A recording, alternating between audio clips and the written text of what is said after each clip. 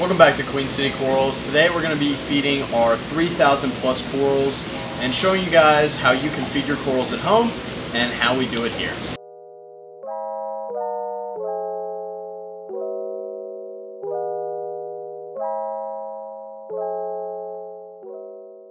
So we have four main types of foods that we use to feed our corals here. The first is going to be liquid foods such as amino acids like the Red Sea Reef Energy, and then there's also phytoplankton and oyster feast is the primary one we use here, but there are several different types of liquid foods. These are really good for getting everything to open up and broadcast feeding. So what we're gonna do today and what we normally do is we add this into the aquarium. We usually put it in a high flow area like into a uh, power head or the return pump and that spreads throughout the aquarium and after about 15 to 20 minutes we'll come back through with our next type of food and that's going to be our powdered foods. These are typically Reefroids and Benepets. These both are used here in the store. It really just depends on what the nutrient levels are in the aquarium. So with Reefroids, these are a very nutrient dense food and they'll increase things like nitrates and phosphates. So you want to watch how much you add, especially if you already have higher nutrients. Benepets, on the other hand, will actually lower your phosphates and won't really affect your nitrates. So I'll use this on a system that has higher nutrients, but I still want to get extra nutrition for the corals. And then our next type of food is going to be pellet food. I like to use this Benepets LPS mix. Again, it'll decrease phosphates and also not really affect your nitrates. So if you have lower nutrients, you might want to avoid foods like this and the powdered form of Benepets and stick with Reefroids. But I really like this for bigger meteor corals like Scolies and Acanthophyllias because they have larger mouths and really like to eat these chunkier pellets and they work really well for them. The final type of food is the most common that we use and you probably use at home and that's going to be frozen food. So this can be anything such as mysis shrimp or a pre-packaged mixed food like LRS, Reef Frenzy, um, or Rod's Food. Any of those type of foods, they're going to be similar feeding to the pellets where you want to feed it to larger corals that are going to be able to catch it. You can't really feed it to smaller polyp things such as zoanthids or SPS corals because they don't have mouths large enough to digest them. Um, so they'll usually just end up spitting them out. So typically we'll just feed larger things like meat corals and scolies, similar to the pellets. Okay, so we're getting ready to mix up our food. So what we're gonna do is we're gonna use this plastic container to mix all of our food together and then we'll go through with this small syringe and we'll take it out of the container and put it on top of the corals and I'll show you guys that in a moment after we've mixed everything up. So the first thing we're gonna do is we're gonna add our Reefroids and so because I'm feeding a lot of corals, I'm doing a lot, but typically I recommend starting out with a very small amount as it can increase your nutrients quite a bit and test your water afterwards to make sure it doesn't affect your water chemistry too much. Now after I feed the Reefroids, I'm going to add in some of our Benepets food on top. These foods do have different vitamins and nutrients in them. The next thing I'm going to do is I'm going to add a little bit of Oyster Feast into the mix, as well as some Reef Energy And lastly, I'm going to add a little bit of phytoplankton. This is live phytoplankton, and it will actually help lower your nutrients. Um, I've found that after I dose live phyto, our nutrients will go down a little bit. Um, so that's a good food also to add in cooperation with the Benepets if you have a little bit of a higher nutrient system and you don't want them getting out of hand. Um, so the next thing we're going to do is we're going to actually add a little bit of tank water. Got our tank water in there. This just helps to dilute it, and so that way we have enough food to feed all the different corals. Because um, we're feeding a lot of corals today. We're feeding all of our systems um, to make sure that all of our corals are getting the necessary nutrients to help them grow and color up. And so we'll go through and mix this all up into a nice slurry mixture here. And the next thing we're gonna do, now that we have our food mixed, is we're gonna go ahead and dose a little bit of Reef Energy as well as a little bit of phytoplankton across the different tanks. That way everything gets nice and open before we're ready to feed them. and they're gonna catch the food a lot easier that way because they'll have all their feeder tentacles out. So we're here at our 80 gallon display and this is the first tank I'm gonna broadcast feed. So I've got a power head as well as the return here. So I'm gonna add a little bit of reef energy here, about 15 mils and it will turn the tank yellow. That's completely normal. Um, those are just all the amino acids. If you'd like, you can also turn off your return pump and that'll make sure that none of it goes into the filtration um, and it just keeps swirling around the tank. But for us, these return nozzles add a lot of flow, so it's a little bit more beneficial to keep it all moving in throughout the tank, even if we lose a little bit down the drain. Next, I'm gonna add a little bit of phytoplankton. I'm gonna add about 20 mils of that. And you can see it darkens up the tank for a moment, but the corals are definitely going to love that. And it's also going to help a little bit with the um, nutrients in this system. It will dissipate pretty quick, so don't worry too much about clouding up the aquarium. The corals will eat it, as well as um, any of the pods and other small life that you have in the aquarium. And eventually it'll get filtered out anyways by your filter socks and your skimmer um, so don't worry too much about any clouding effects that may occur.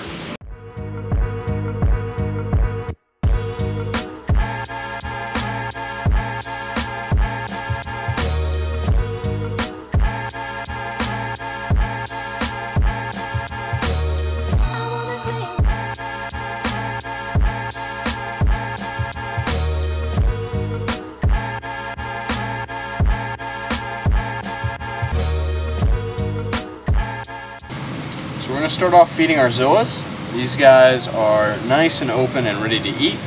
And so I'm to, I've filled up the syringe with our food mixture and we're just to give it a little shake just to make sure it's all mixed up.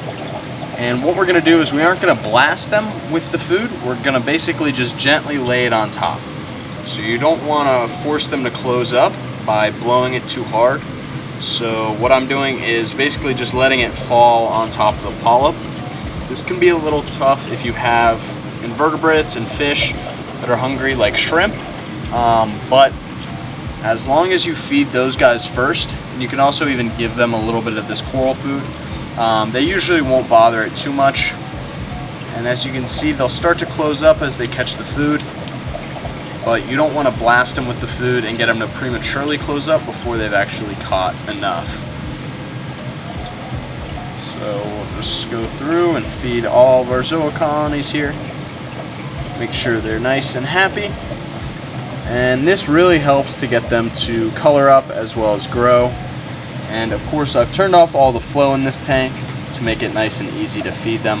Otherwise the food will just end up flying all over the place. Um, and it'll make it a little tougher for them to catch it, especially stuff like zoas where they don't really have feeder tentacles that can actually grab onto the food as well. They really just need to close their mouths around it. And because they're a little bit slower, um, they just need a little bit of help to make sure that the food doesn't fly away from them and they're able to grab it.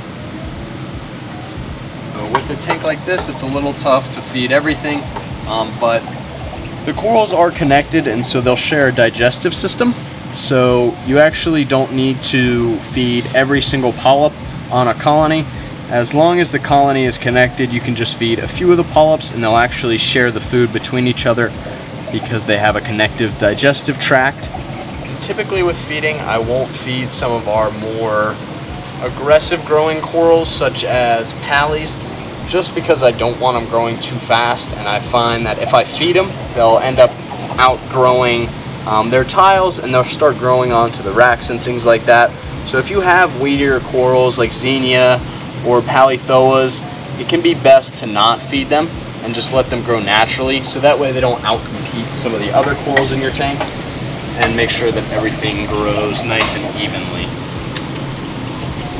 So as you can see, all of our corals are nice and closed up, which is exactly what we want. They're all nice and happy and eating.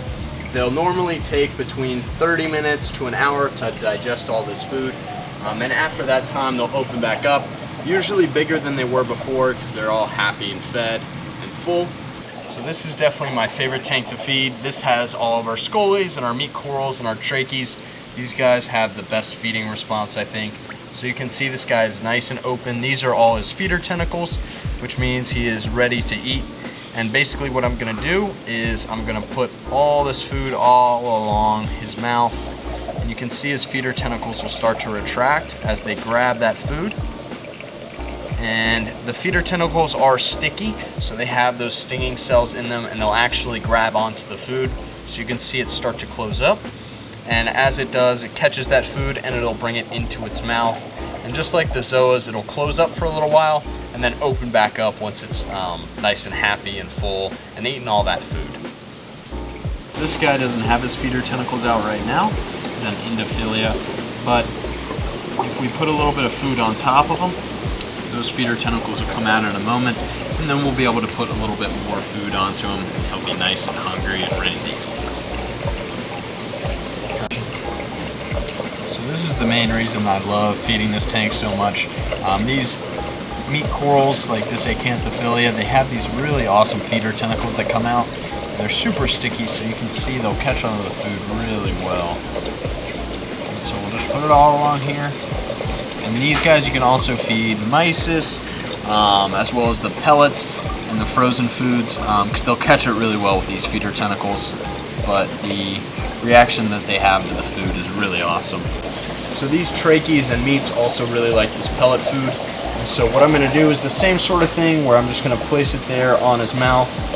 And he'll slowly catch all these bits, close up around them, and eat them.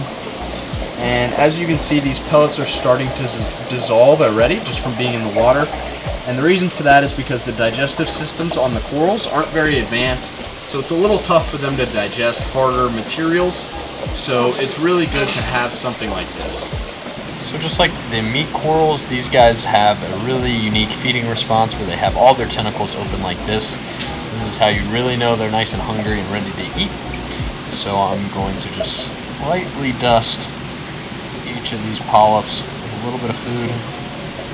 You can watch as they'll slowly contract around there that food. They'll close up their mouths and they'll eat as much as they can. And then if there's any food left over that they didn't eat, they'll end up pooping it out. Um, and you can see that later. Um, after you feed your corals, there'll just be some slime that can possibly come out.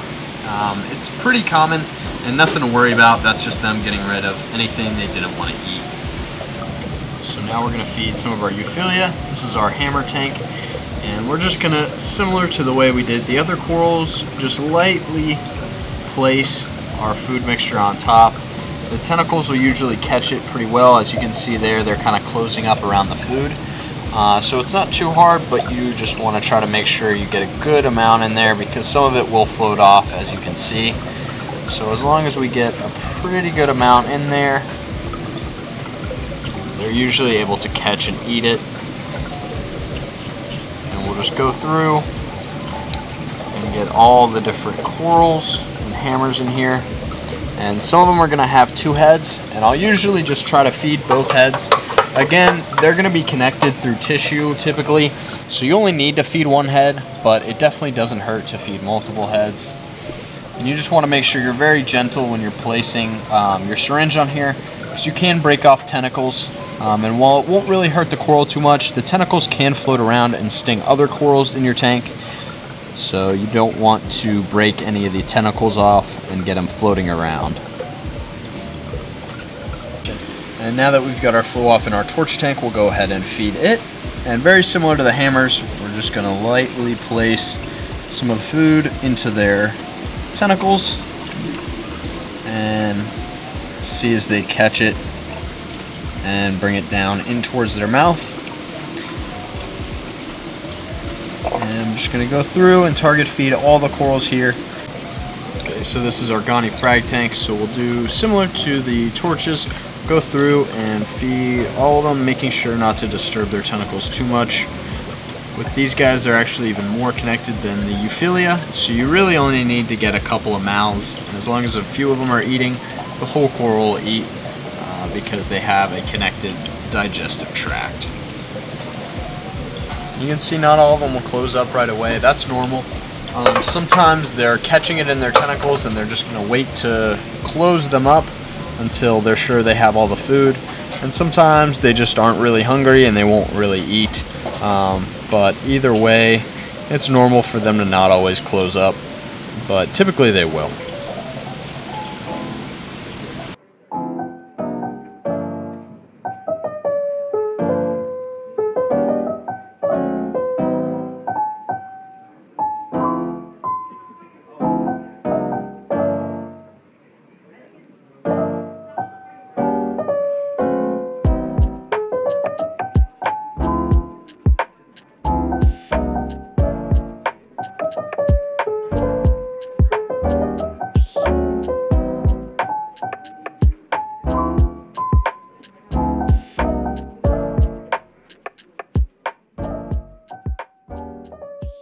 I hope you guys enjoyed the video and seeing us feed all of our different corals in the shop. Uh, if you guys like the video, make sure to leave a like below and subscribe so you get updated whenever we drop a new video. If you have any questions about feeding your corals at home or about any of the corals here in the shop, you can leave a comment down below. And I will see you guys in the next one.